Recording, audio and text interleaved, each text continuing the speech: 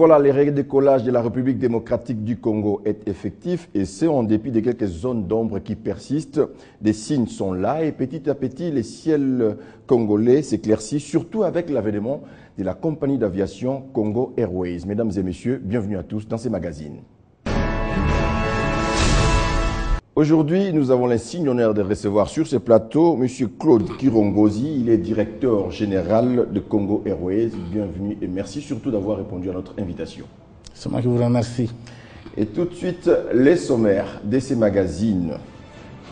Le deuxième Airbus A320 de Congo Airways pourra ou ne pourra pas atterrir à Kinshasa comme annoncé par les responsables de cette compagnie aérienne nationale. C'est une question à laquelle va devoir répondre notre invité. Encore une fois de plus, bienvenue à tous dans ces magazines. Nous allons revenir sur l'arrivée du premier Airbus A320 à Kinshasa. C'était le 30 juillet 2015. Suivez. L'aéroport international de Kinshasa connaît une ambiance peu ordinaire. Il va dans quelques instants se dérouler ici un événement historique. Voilà qui justifie la présence des autorités, en tête desquelles le Premier ministre Matata Pogno. Le voilà qui arrive.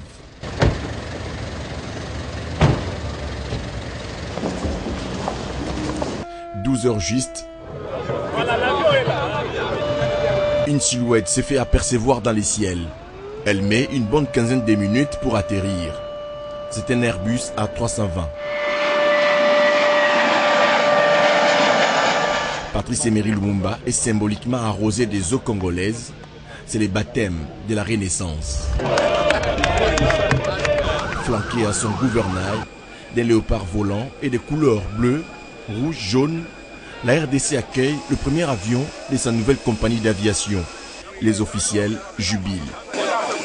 Nous sommes en train de vivre là la renaissance effective de la République démocratique du Congo, conformément à la volonté du chef de l'État, conformément à sa vision de la révolution, la modernité. Aujourd'hui, nous avons un avion. Je viens de parler avec le commandant des bords qui est un professionnel du métier et qui nous dit qu'il s'agit là d'un appareil des nouvelles générations. Un appareil moderne avec des conditions de sécurité maximum. C'est ce que le président de la République avait dit, la révolution de la modernité. Nous la vivons dans les actes. Le voir de l'extérieur ne suffit pas. Nous faisons un petit tour à l'intérieur, l'histoire de vérifier si l'appareil est vraiment de qualité. Vérification faite, les conforts y est. Cet appareil est excellent, vous connaissez, c'est l'Airbus 320. Celui-ci est de 2007, euh, le prochain qui arrive dans quelques semaines est de 2008. C'est des avions avec très très peu d'heures, très très bien équipés, très confortables. On a fait un excellent vol et on est très très heureux d'avoir ces appareils. Après la construction de l'aérogare modulaire, il ne manquait plus que ça. C'est cet appareil des nouvelles générations acheté 25 millions de dollars américains par le gouvernement congolais qui en dit long. Alors, le commandant dit que c'était un excellent appareil.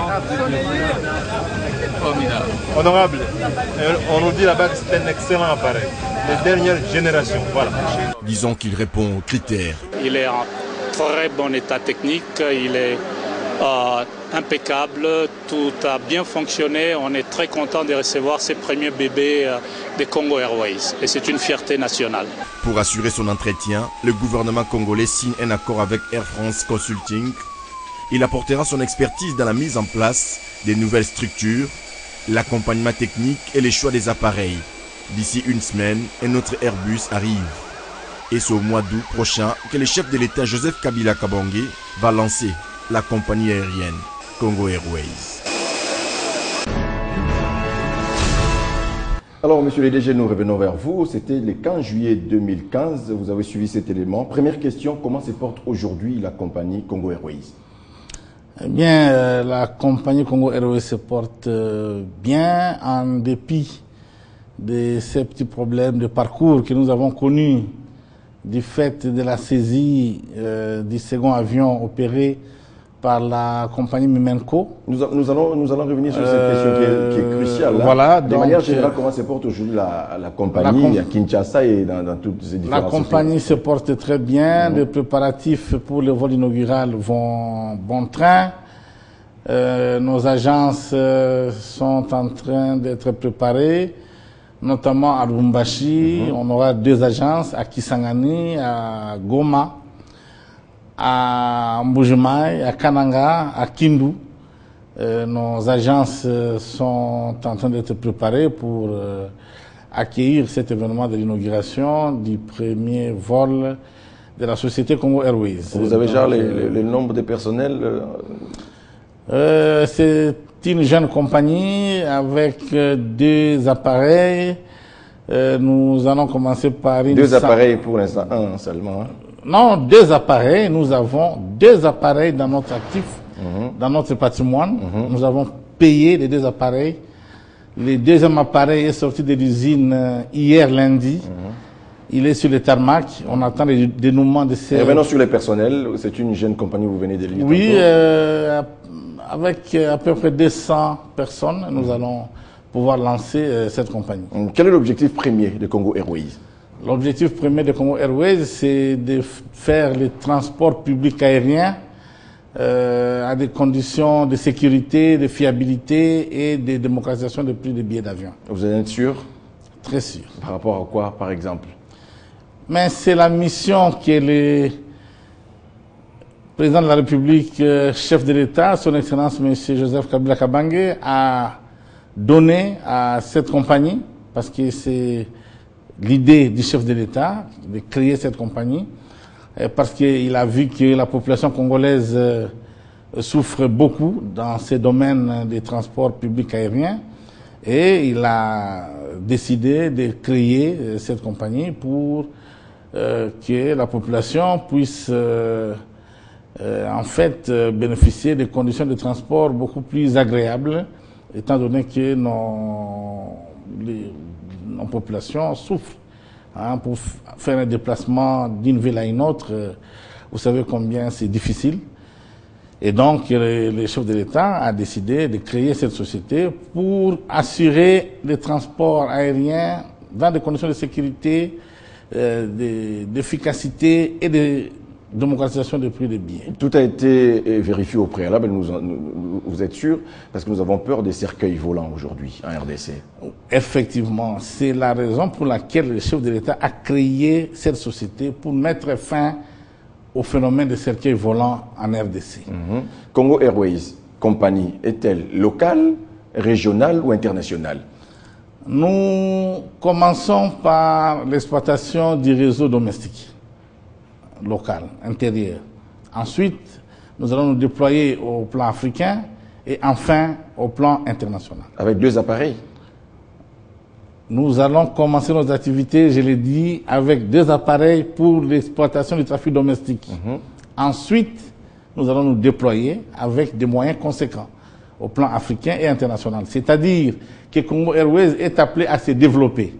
Si on commence aujourd'hui avec des appareils, la mission du chef de l'État, c'est que après trois ans, cinq ans, que nous puissions grandir en taille et en, en flotte.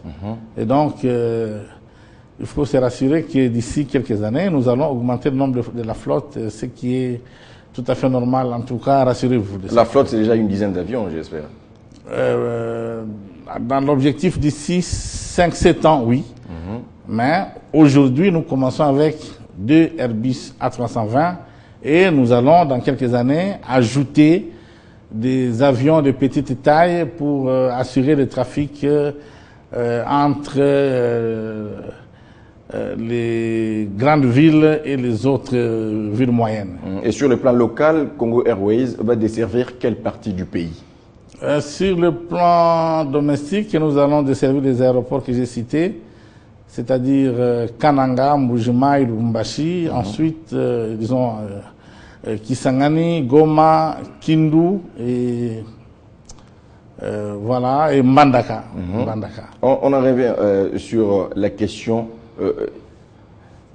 qui, qui fait couler beaucoup d'encre de salive en RDC. hein. Oui. C'est par rapport à l'avion qui est bloqué à l'aéroport de Dublin. Nous sommes en Irlande. Mais avant que vous puissiez répondre à cette question, nous prenons Jean-Marie Kassamba avec cette intervention.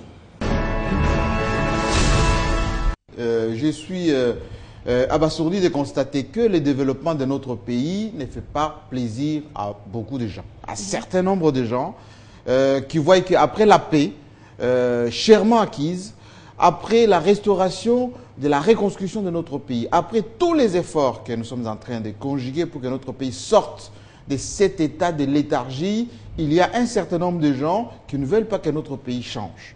Euh, Dans les cas d'espèce, c'est une vieille affaire qui date de, de 1996-97, alors que le régime actuel, le président de la République, n'était pas encore en fonction, et parce que il faut déterrer telle ou telle affaire pour empêcher notre pays d'avancer, voici que cet avion qui devait nous arriver ici de 26 est bloqué à Dublin par, euh, euh, on va dire, machination d'un certain nombre de gens, souvent du secteur des transports, qui étaient en monopole, qui fonctionnaient souvent euh, pour un peu, je dirais, exploiter les Congolais, avec des tarifs exorbitants, avec parfois même des conditions de vie techniques, de sécurité condamnables. Alors, on empêche notre avion de revenir. Je ne vais pas entrer dans les déta- détails de cette affaire parce que l'État congolais est en train de multiplier les efforts pour que ces litiges soient liquidés le plus rapidement possible. Mais j'alerte, j'alerte notre population, euh, j'alerte la communauté congolaise d'ici et de l'extérieur du pays qui doit être sensibilisée par rapport à ces genres de machinations parce que, rappelez-vous, Bukangalonzo, à un moment donné, on a, commencé à développer des mécanismes que le maïs de Bukangalonzo n'était pas de bonne qualité. Rappelez-vous Transco, que le Transco était là pour euh, euh, faire des accidents. Rappelez-vous l'hôpital des cinquantenaires. Oui, et là-bas, on tue la population. Non, ce n'est pas une bonne chose. Nous avons créé des emplois. La renaissance de la compagnie nationale, c'est une très bonne chose. Aujourd'hui, des milliers de Congolais sont employés. Euh, nous avons déjà tout un programme de désenclavement de notre pays. Il faut que cette stratégie de renaissance de la RDC aille de l'avant. C'est pour ça que tous les Congolais aujourd'hui sont choqués par ce type de manœuvres qui empêchent notre pays d'avancer. Alors, euh, c'était Jean-Marie Kassamba qui répondait aux questions de Gloria Kumwimba. Là, l'avion est bloqué encore à Dublin. N'est-ce pas une mauvaise nouvelle qui risquerait de discréditer la compagnie? Effectivement, j'ai souscrit aux propos de mon ami euh, Jean-Marie Kassamba qui a bien expliqué les choses. Il y a effectivement des gens qui ne veulent pas que le Congo puisse démarrer, que le Congo puisse décoller.